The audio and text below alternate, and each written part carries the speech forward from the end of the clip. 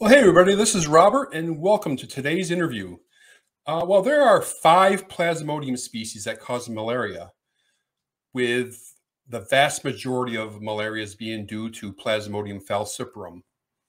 But today we're going to be talking about the second most common uh, reported cause of malaria, Plasmodium vivax.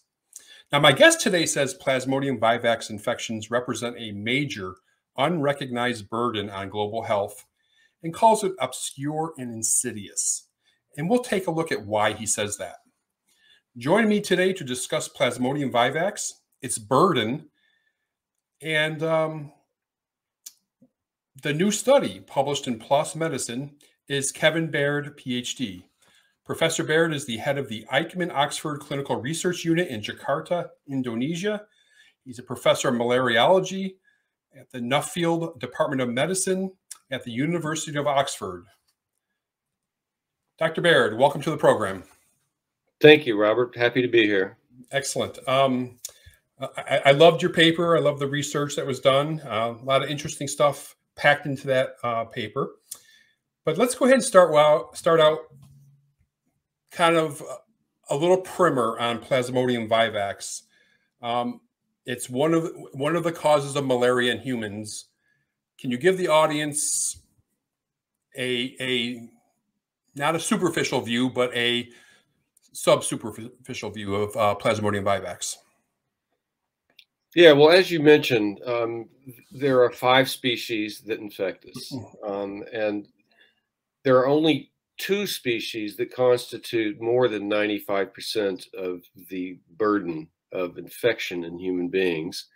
Plasmodium falciparum and Plasmodium vivax. The the others, they're not trivial, but they're they're minor in terms of case numbers globally. So Plasmodium vivax and Plasmodium falciparum sort of share the stage, if you will, of importance and priority in malaria research. Um, historically, uh, actually until quite recently, um, Plasmodium falciparum totally dominated the the research landscape. Um, and there's a, there's a few reasons for that, but the dominant reason for that is that scientists like me uh, were trained and believed that Plasmodium vivax was a benign and inconsequential infection. Um, research over the past 15 years or so has shown that's that's absolutely not true. The Plasmodium vivax if it's not promptly diagnosed and treated, will lead to life threatening syndromes and death um, quite often, um, unless medical attention is, is provided. Um, so it has been the neglected major parasite among the malaria species. Um, but we're beginning to learn a lot more about it than we did um, not so long ago where is P. vivax um, found geographically? It, it is actually the most geographically widespread plasmodium. It occurs as far north as the Korean Peninsula. Um, and, and the winters there don't bother it for a number of complex reasons. It occurs all across the um, tropics um, in, in the Americas, in Africa, uh, South Asia, Southeast Asia, and, and Northeast Asia. So it's very widespread parasite. Yeah. Which populations are most at risk? It's it's a really good question. Um, anyone who gets Plasmodium vivax and is not diagnosed and treated is is at risk of a poor outcome. Um, but globally speaking, um, looking across that malaria endemic world, um, people who live um, in impoverished, isolated areas where good ac access to good care is is difficult um, and usually undertaken only when one is an extremist um, and and often too late. and and Vivax, that is how Vivax kills people. It's it's the not getting prompt diagnosis and treatment. So the people who are most at risk are the ones who getting that care is relatively very difficult. Um, how does Plasmodium vivax uh, differ uh, from the more common species, Plasmodium falciparum? And if, if you could do a little focus on pathology there. Yeah, they're, they're very different animals, and they are animals. they're protozoa. Um, the most fundamental difference between them is the the way they infect the human body.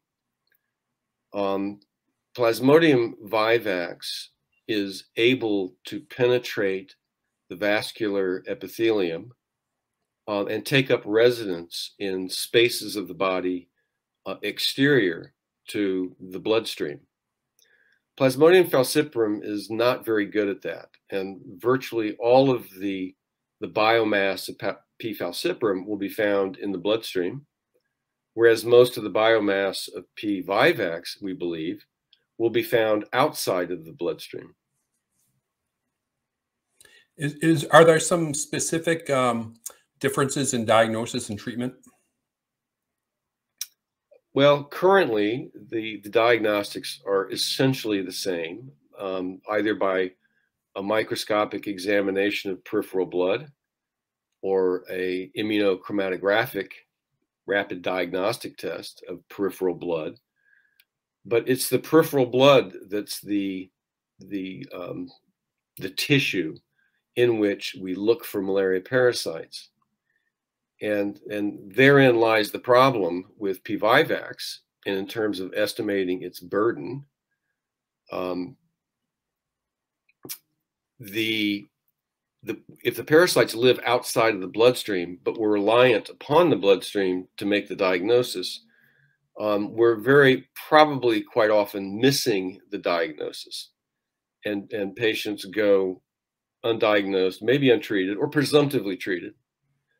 Um, in, in that respect, that's what we mean when we say obscure. So, for example, the the World Malaria Report put out by the World Health Organization. The WHO works really hard to estimate the burden of P. falciparum and P. vivax each year. And the, the, the relative numbers between those two species, it's like 15 million versus 150 million. So it's, it's an order of magnitude higher for P. falciparum. But that's that's a, a number based on clinical attacks with a diagnosis of malaria from the bloodstream. Um, we believe this is problematic. Me and my my colleagues, we believe that relying upon that conventional, traditional, hundred-year-old standard for the diagnosis of malaria is problematic for P. vivax. Yeah, just to give the audience a, a, more clearer picture. Um, when you're looking, it's, it's, it's a blood smear that we're talking about, and there's a very high parasitemia with P. falciparum, while Vivax um, relapses, hides out in the liver, and so that that's what you're essentially talking about. Well, no, that's actually something different. The the um, the dormant liver stages.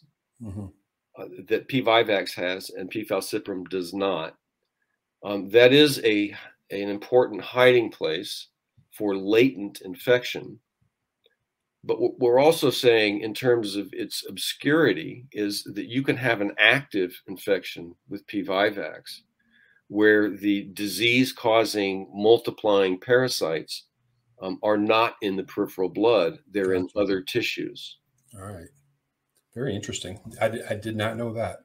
Um, well, you write that uh, P. vivax takes an unrealized toll on human health, global health, and you list a number of uncertainties in global malaria burden estimates.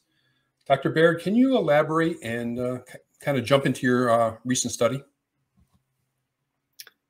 Yeah, what we're talking about in that context and and this is the the insidious character of P. vivax from the title. Um, it, it, it's a northern clinical bias to view the harm done by malaria as limited to the acute attack of okay you got sh shaking chills and fever and you got parasites in your bloodstream that we can see with a microscope. That's what we consider a classic attack of malaria and that's what the world malaria report strives to enumerate okay? But in endemic areas it's not just that one episode. It's years of being exposed to both repeated attacks from mosquito bites and from the liver.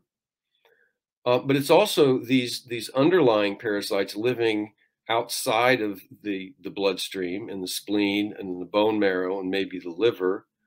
Um, that the the patient may not be having an acute attack and, and a soaring fever and chills, but is actually quite functional with a low grade fever, doesn't feel well, but it can go to work and go to school. Um, but eventually, we believe over years, this takes a toll. Um, there was a, a, recent study in Indonesia. I wasn't involved in it, it was somebody else. Um, they followed tens of thousands of, of, patients diagnosed with either P. falciparum or P. vivax and followed them for nearly 10 years. And what they saw was quite surprising that the patients who were diagnosed with P. falciparum, although their risk of hospitalization and death within two weeks of that diagnosis was higher in P. falciparum than P. vivax, that actually over years, the risk of hospitalization and death in the P. vivax cohort was actually twice as high as it was in the P. falciparum cohort. And this is that insidious harm that I'm talking about. That over years of insult and injury caused by this infection, um, it takes a toll and, and, a serious toll on human health. And, and we're not very good at recognizing that. Well, um, I want to go ahead and close out on our discussion of P. vivax real quick. Uh, any final thoughts on um, on the parasite itself or or, or, or the study that we didn't touch on yet? Well, just just to say that our understanding of the biology of this parasite in our bodies is fast breaking and um, changing you know how how we view this infection um, and and the the emerging understanding that the traditional way that we have viewed malaria clinically and from a public health perspective uh, is based on what we see in peripheral blood. And it's inadequate. It, it just it, the biology of this parasite uh, exceeds the abilities of that means of diagnosis and surveillance um, inadequate for this parasite. Yeah. Um, i want to go ahead and give you a chance to talk a little bit about uh, the work that the Eijkman Oxford Clinical Research Unit is doing. Other than uh, Plasmodium vivax, what else are you doing out there in Jakarta? Oh, many things. Mm-hmm. um, we, we've done um, quite a bit of COVID since you know 2020. Sure. Um, that has been a major uh, shift for us. We had to adapt and be agile and uh, flexible, and we've taken on a number of important studies with with COVID. Um, but our malaria studies go on, um, and we also continue our work with tuberculosis.